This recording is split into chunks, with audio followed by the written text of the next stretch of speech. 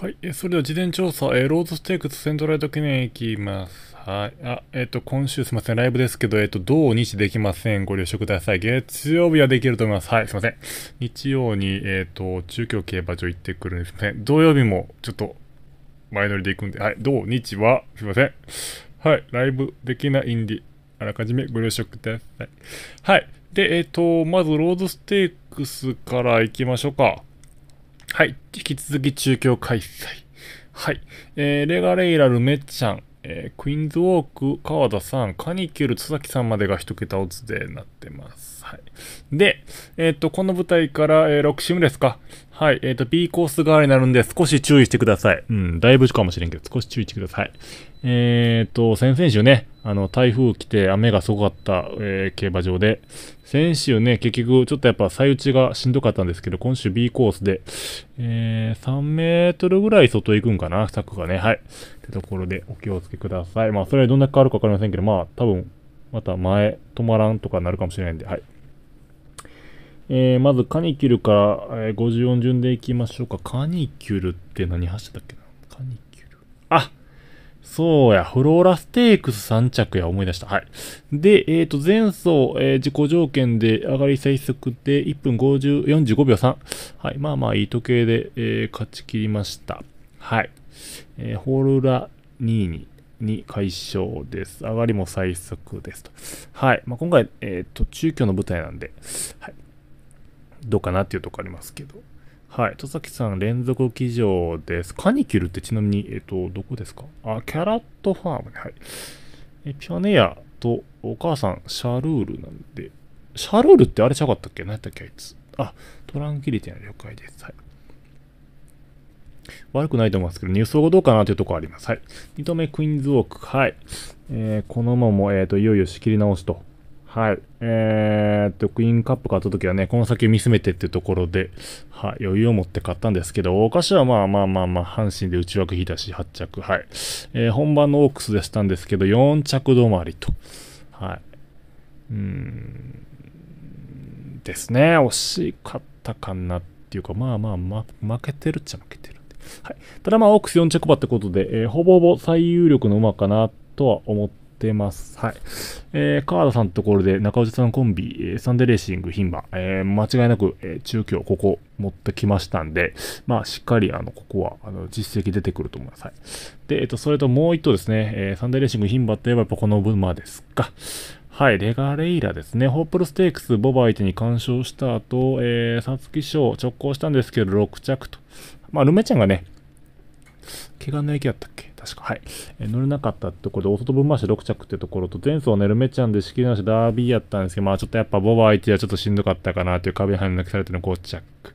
はい。ってところで、えー今回がしっかり自己条件、牝馬同士の戦いとなってますんで、えー一応ね、えっと G1 買って、賞金はね、3000万あったらまあまあ足りると思うんですけど、うん、やっぱり、牝馬相手でも実力は示したいかなっていうとこです。まあだから、レガレイラとクイーンズウォーク、ここはもう多分、あの、嫌でも馬券は絡むんだろうなと思いながら、はい。そうか、ロードステークスね、そうか、このレース俺見に行くんや、これ。こ れ結構大渋滞なんじゃん、これ。これ結構大渋滞ちゃう。レガレイラやろ。大丈夫かな？俺そんなコムレースちゃうなので見てたけど、レガレイラ出てくる思って、これミスった、ミスってないけど。まあ、せっかくやったらええか。はい。多分12年ぶりぐらいかな。11年ぶりぐらい。10年ぐらいかな。ですね。中京ね、久々に行っていきますので、よろしくお願いします。はい。えー、次はセントライト。今度、ボバの前哨戦で、えーっと、こっちか。はい。えーっと、明日、あ、じゃ間違えた。えーっと、とはい、一番人気コスモ系なんですね。デムッチャン、エアバシクル、メッチャン、えースティンガーグラス、竹豊さん、アスクカムオンモア、戸崎さん、えーコロバルツ岩田康成さんとなってます。はい、ああいう順でいくとアーバンシックからですね、これ。はい、えー乗り換わりですか？ルメッチャンに乗り換わりました。えー、たけしさんで、掲載2着まで良かったんですけど、うん。はい。皐月賞4着、ダービー11着で、ここでついにルメちゃんに乗り換えられました。まあ、ノーザンハームなんで仕方ないんですけど。はい。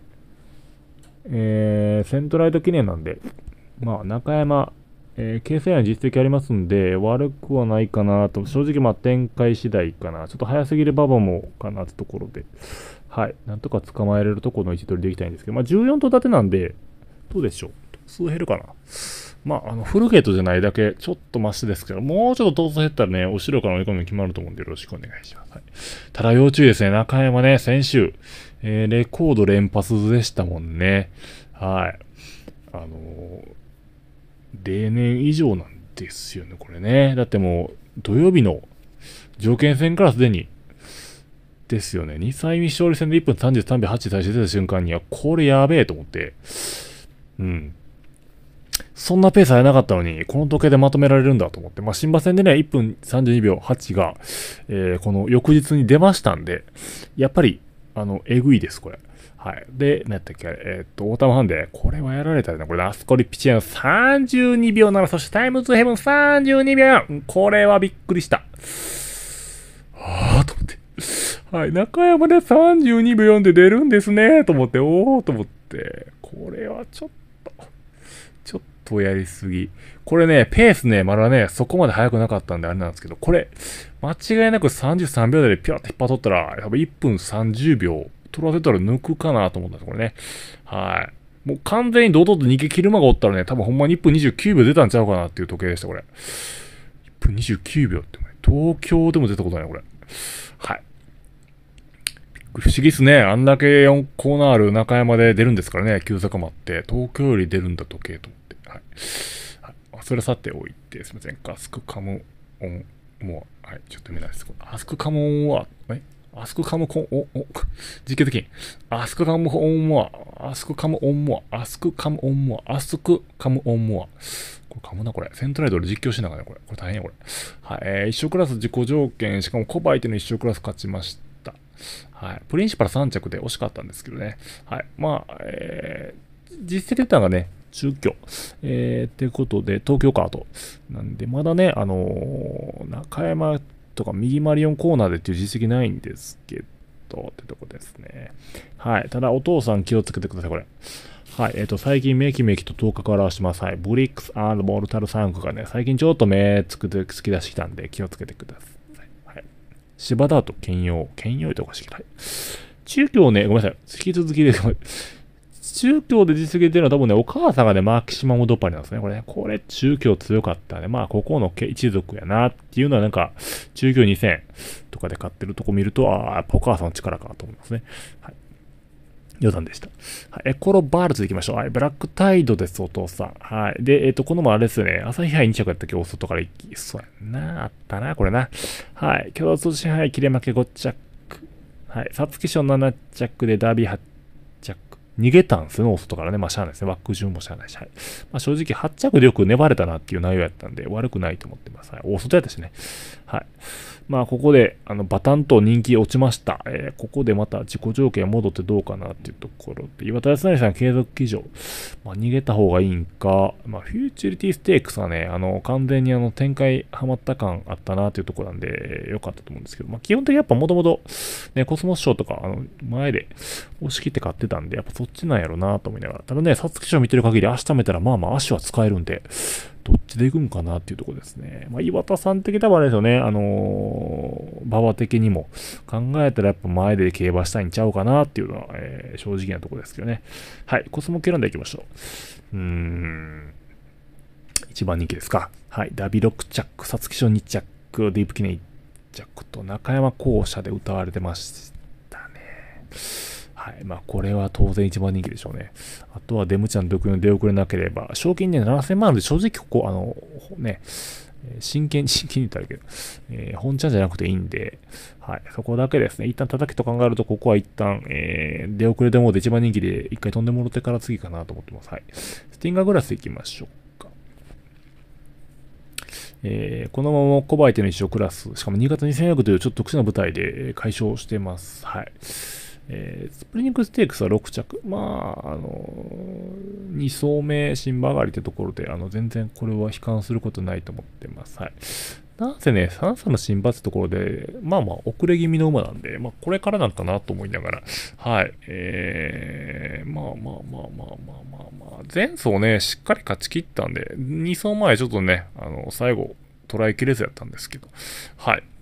まあまあ、まあ一生クラスででもコバイでの小橋に際しね、悪くないと思います。はい。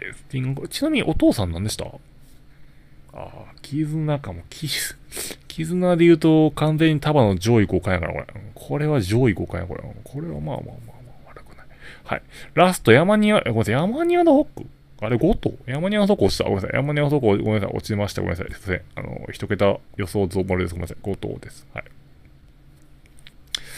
ババですよね、これね。で、内目のがいいっすすかね、多分ね。